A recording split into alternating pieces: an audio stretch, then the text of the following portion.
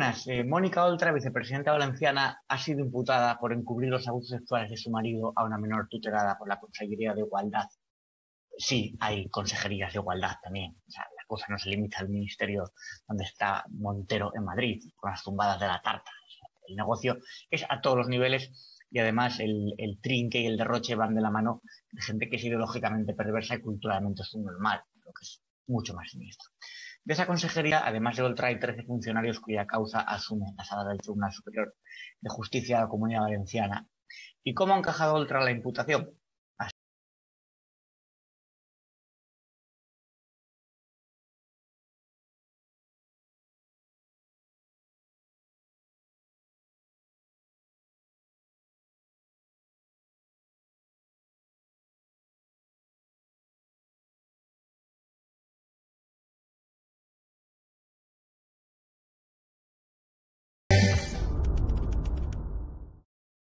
Pero si Oltra es un personaje indeseable, Irene Montero es, eh, bueno, es Irene Montero. No quiero pararme demasiado en esta valía criatura.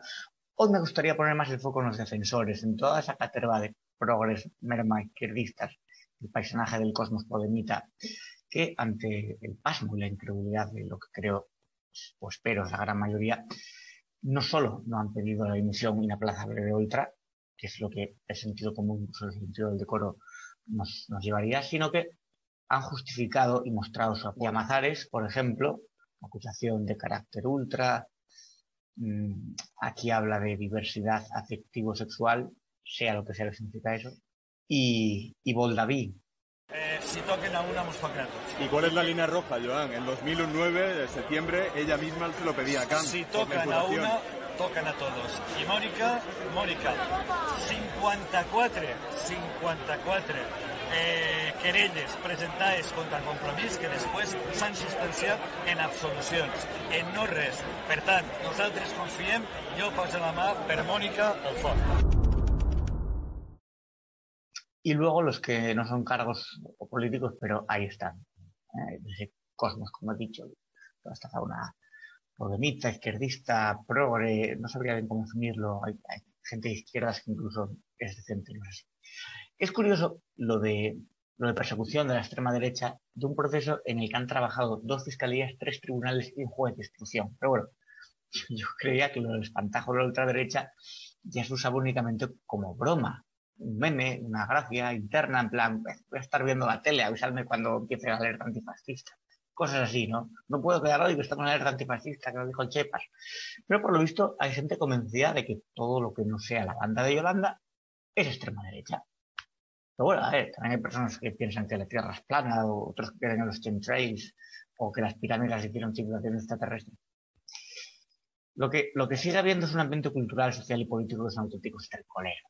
Y además, mmm, creo que las críticas desde el lado, vamos a llamarlo el lado de la razón, están mal centradas. Hay un error que voy a intentar explicar. Muchas personas de buena fe quieren convencer a los de la merma que el caso de Oltra, las acciones de su marido, suponen una aberración, que es repulsivo, que es terrorífico, a una niña. Eh, pero no, no vale con eso. Porque ellos lo pueden llegar a saber. Pueden entender que un abuso sexual es una inyección, un, un delito horrible. La cuestión no es esa. La cuestión es que les da exactamente igual. No les importa. No les importa que se indulte a secuestrar a Juana Rivas, que María Sevilla tuviera a su hijo viviendo como un animal, condiciones infrahumanas o al pairo que una chica sea violada si es por una manada contra lo que no puedan hacer manifestación. Entienden la gravedad de los delitos, pero no lo ven reprobable si no se ajusta a la causa política. O sea, viven en un universo fundamentalista donde no se manejan con los mismos códigos que el resto. Cosas que pueden valer para otros, oye, el abuso de menores está mal, secuestrar a niños es un crimen, lo haga quien lo haga. Ellos no. Es espectacular. Porque están en otra frecuencia por completo, humana, ética, y donde ni siquiera entienden los conceptos del bien y del mal. No hablo de conceptos teológicos, o ni siquiera de las teorías aristotélicas, o un concepto kantiano que llegaba al bien a la felicidad. Hablo de la concepción mínimamente moral, ¿no? o la interpretación moral de, de los fenómenos, si nos amparamos en Nietzsche. Para ellos solo existe lo que es bueno para su ideología y lo que es malo para su ideología. Y si el encubrimiento de abuso sexual perjudica de alguna manera su ideología, no se va a criticar o no se va a decir nada. ¿O habéis leído algo del Ministerio de Igualdad de Yo sí te creo a Maite? Yo sí te creo Maite, la, menor en cuya cama se metía Luis Eduardo Ramírez a realizar tocamientos y a masturbarse él. Aquí lo dice ella, que no le hacían caso. Me dijo la policía, eso es verdad.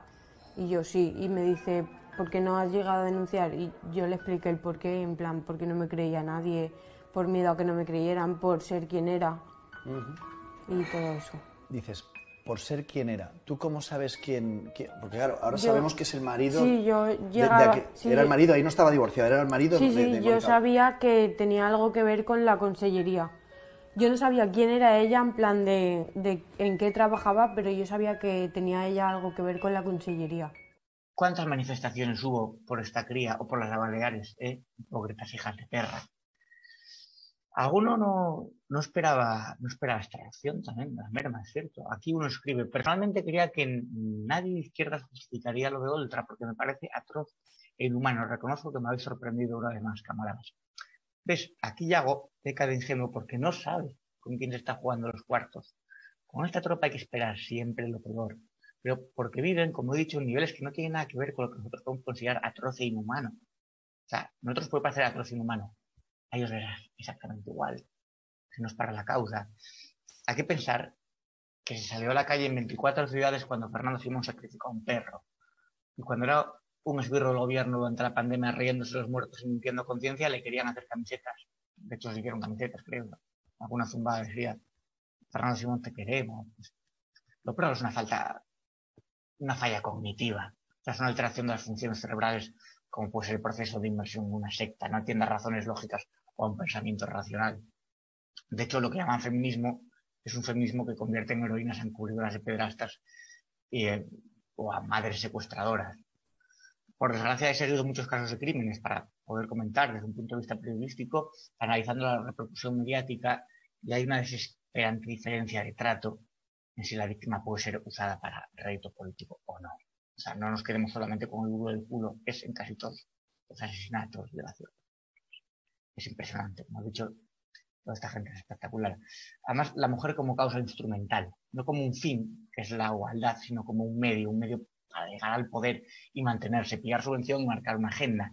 Nunca la mujer como algo que interese o preocupe realmente. De hecho, a Begoña Villacís la llegaron a increpar y a zarandear embarazada de ocho meses. Es un espectáculo indecente. Lo que están haciendo, lo que están haciendo con las instituciones de este país, el roche extremo cuando estamos a las puertas de una recesión brutal, menos de comunicación blanqueando la pederastia después de haber blanqueado a Batasuna, fanáticos que pasan por encima de quien haga falta, niños, menores, mujeres, para imponer su apisonadora ideológica, su totalitarismo progre, es algo que yo creo que puede no acabar bien, ¿vale? Porque hay personas hablando abiertamente de, a mí si me pasa esto, pues tomarse la justicia por su cuenta. No puedes arruinar tantas vidas impunemente. Cualquier padre desesperado, víctima de la ley de violencia de género, esa bestialidad inconstitucional, que tenga ya poco nada que perder, puede cometer cualquier locura en un último acto de justicia poética por medio de las armas. Y luego vienen los lamentos de cómo ha podido pasar y él no se podía saber.